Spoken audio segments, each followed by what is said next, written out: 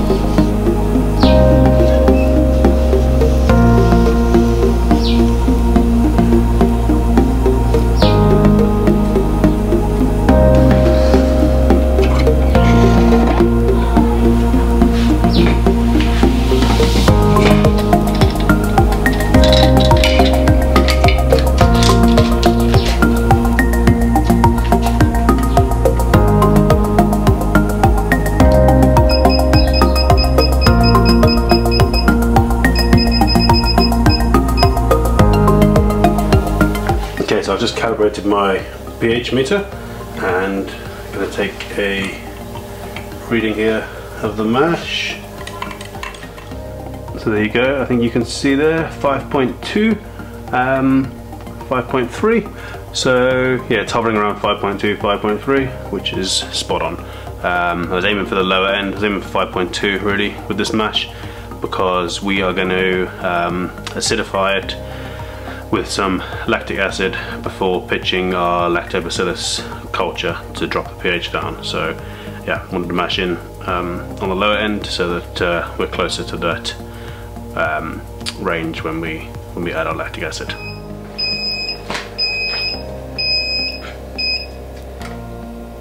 Okay, so there we are at the end of the mash out. We did a 10 minute mash out at 75 there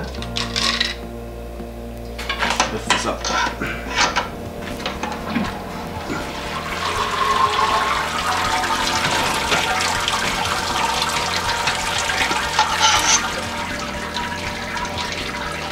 Okay, we're looking for 16 litres of sparge water.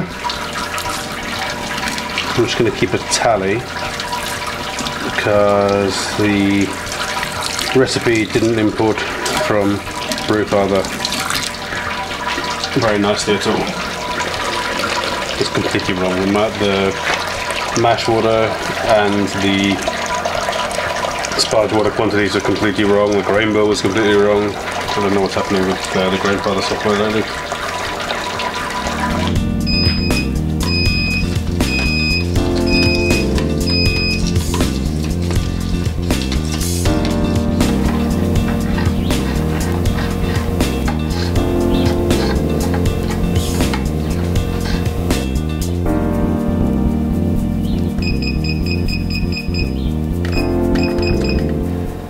So we are 10 minutes into the, or 5 minutes into the boil.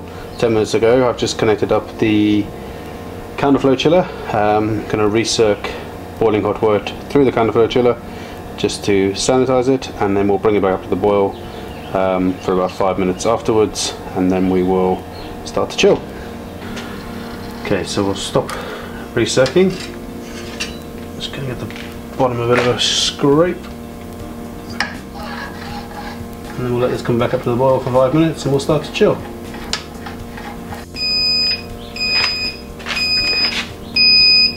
Okay, so that's the end of the quick 15 minute boil. I'm going to turn the heater off, turn the pump on.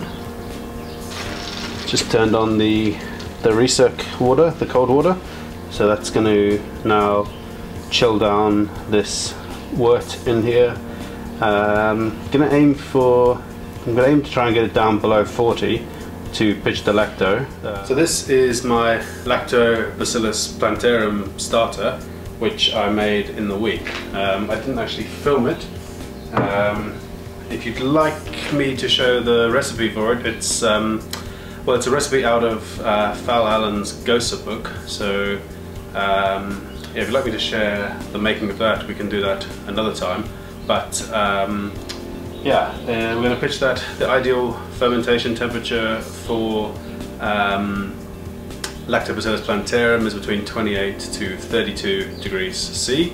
So um, I'm going to try and chill this fermenter down now to um, uh, as close to that range um, as I can get it with, uh, with our groundwater. Um, ideally, if we can get it down to below 40, um, that'll be quite good because um, I think uh, over 45 degrees, it's not it's not happy. So yeah, we we are chilling down now. We'll see where we can get to. Okay, so while that is chilling, I have just taken a pre-boil um, gravity and we're at 1046. We were aiming for 1040, so uh, I've overshot that a little bit again. Um, but yeah, the, the, OG we're aiming for is 1047, so we're going to do a really quick boil again tomorrow. Um, and obviously some of those sugars will be eaten by the lactobacillus. So we might be on track for the OG we're aiming for. Um, we'll we'll see tomorrow. But yeah 1046 at the minute to pre-boil. Okay so with that chilling down I'm gonna add 5 milliliters of lactic acid. 5 grams of lactic acid. That's five and a half let's do that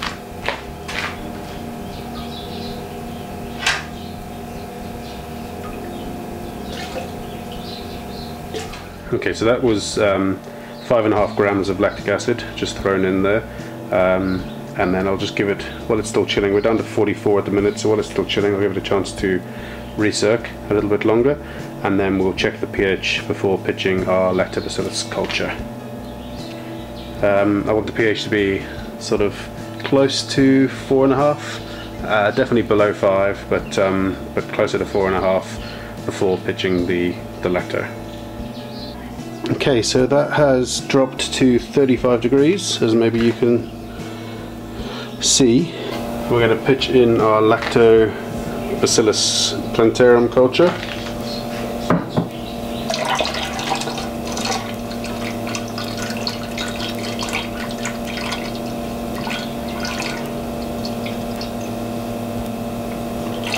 I leave a bit behind so I can reuse it, regrow it up. And this is the fun step. I'm to try and cover this with some cling film. Just to keep the oxygen out. It's not the easiest just kind of drop it down so that it sits on the surface of the wort. Oops. And then stick it onto the side of the, the Grainfather. So I'll do another one in the other direction.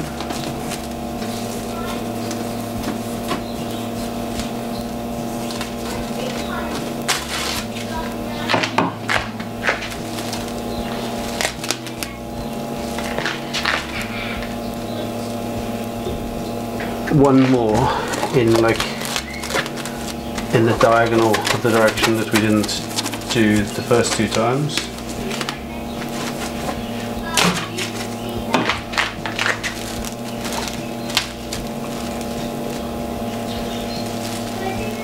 Just to try and seal it in. Nice. And then I'm going to pop the lid on.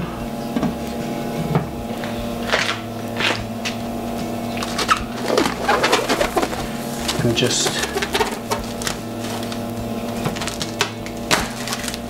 just cover the hole up slightly. Top here. So hopefully you can see there it's set to 32 so I'm going to put the heat on um, and obviously it's not heating because it's currently at 36 but if it drops down to 32 then it'll just warm it up back up to um, if it drops below 32 it'll warm it back up to, to 32 so yeah we're gonna leave that now probably for so the time is 11.15 um, I'll check it again. I'll check the pH tomorrow morning and we'll see what we're at. Catch you then good morning guys. The time is half past eight so that is 22 and a half hours after pitching the lacto. Um, temperature, temperature has been set at 32 pretty much since uh, an hour after we pitched the lacto yesterday. I'm just going to take a sample check the pH and more importantly give it a taste. See where we're at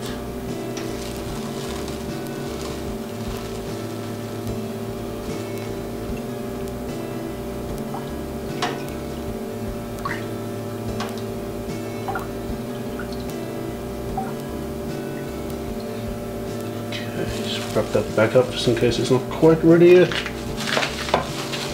It smells like it's ready. Yeah, so as I said, um, definitely smells like it's ready. Oh yeah, that's got a nice tartness. Um, I wouldn't say it's too sour yet, um, or wouldn't say it's as low as maybe I was hoping to go. Um, I would say it's probably somewhere around 3.4, 3.5 pH, but uh, let's let's give it a check and see what it says. Yeah, so it is reading 3.3, uh, 3.3, 3.4, um, which is what it tastes like as well. So yeah, pretty happy with that. Um, gonna give it a few, I'm gonna give it a little bit longer just because I still need to um, sort this fermenter out um, that has the Weiss beer in. So we're going to empty, we're going to package the Weiss beer uh, and we're going to steal some yeast from there as well. Okay, so that was transferring complete. Um, yeah, got uh, a full keg of the Weiss beer there, so pretty happy about that. I'm going to crank this kettle up to the boil for the Florida Weisser now and um, yeah, get cleaning this fermenter out so that we're ready to to pitch into it when uh, when the boil's done. Okay, so the fermenter is, uh, is just soaking in some caustic. The kettle is coming up to a boil where it's 61 degrees. Um, I just want to have a quick chat about this book here, this Gose book by, by Fal Allen. I referenced it earlier um, or yesterday when I was talking about the starter for the lactobacillus. And um, yeah, I can't emphasize enough how much difference making a lacto starter makes to these sour beers. This this kettle soured um, down to 3.3. The pH meter settled at 3.3. Um, a kettle soured down to 3.3 in 22 hours. Um, I've had it anywhere between 18 and 24, but never more than 24. And I often read on these forums and on groups that people take like three, four, five days to get their kettle sour down to um, the correct pH. And yeah, I just can't see that being good for the beer to um, to let it uh, sour for that long. So um, yeah, I can definitely recommend this book. Uh, I'll drop a link down in the description below, um, so you know like what what book I'm talking about, and then hopefully you can try and source it and get hold of it um, wherever you might be. But uh, it's I know it says Gose, and I mean he literally did write the book on Goses but you can apply it to all your a lot of the knowledge in there you can apply to all your um, all your sour beers. It talks about the correct um, uh, like temperatures to grow, all the different types of lacto in, and um, yeah, it's uh, it's definitely um, worth a read. Uh, we met up with him at the boot camp, at the beer boot camp up in Joburg last year, and um, definitely changed my approach on uh, on sour beers. So yeah, grab the book, have a good read of it. Um, I'm not going to go into too much more detail about what's in the book because you, know, you guys can just get hold of the book and uh, and, and, read it, and uh, definitely worth supporting somebody that's uh, gone to the effort to write something as informative as this. I'll come back to you when we're up at the boil. So as you can see that is up to a boil there. Just stir this all this protein back in, a lot of protein because there's a lot of wheat in here. Just do the bottom plate a bit of a scrape. Lastly, we're going to throw in our water additions and some yeast nutrient.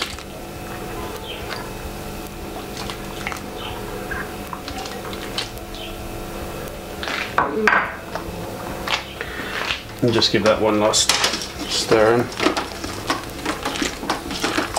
Set the timer here for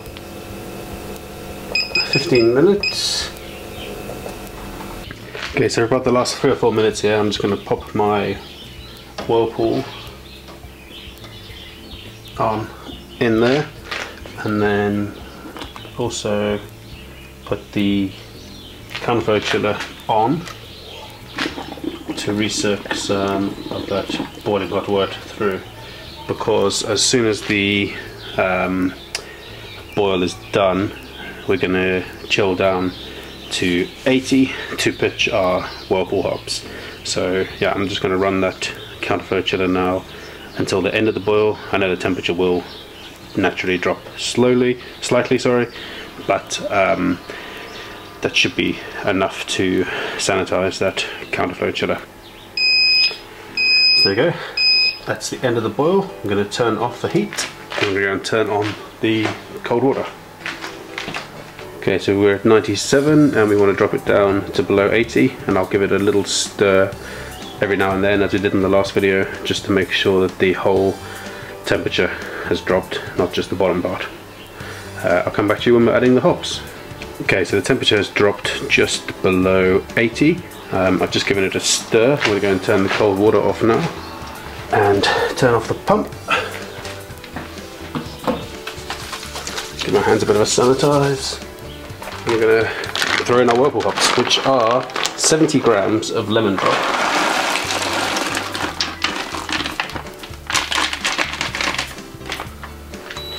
So that's going to be five minutes um, whirlpool and uh, 15 minutes stand.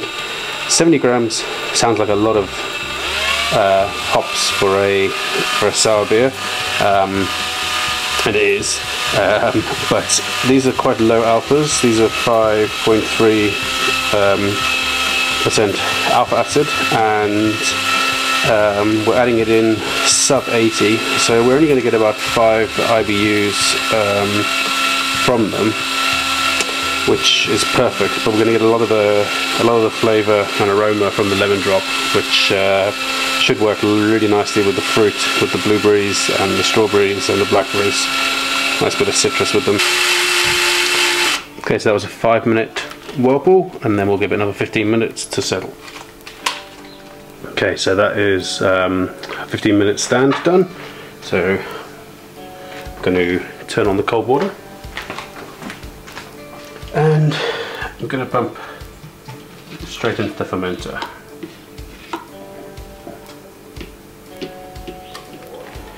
Going to have to cool this down anyway to 16 degrees to pitch the yeast in.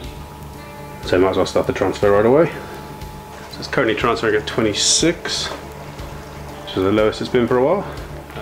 So it's 1051 at um, 29 degrees, which is 1053 um, at the correct temperature. So yeah, 1053. We were shooting for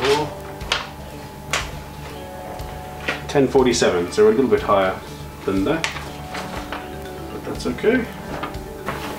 Let's also do a check on the pH over here.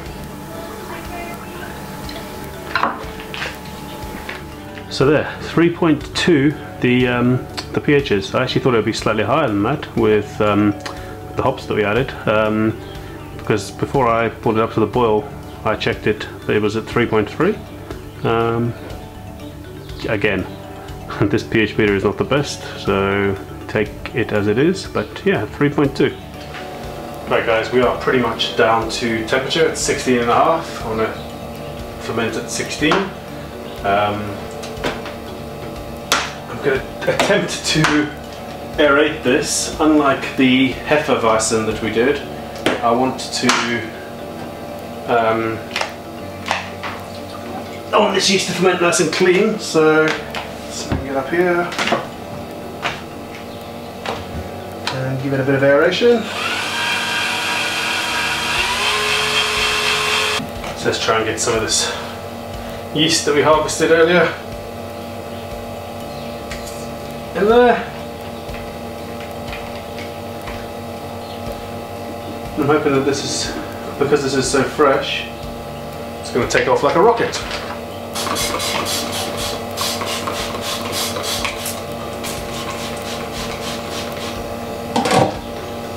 Lid back on.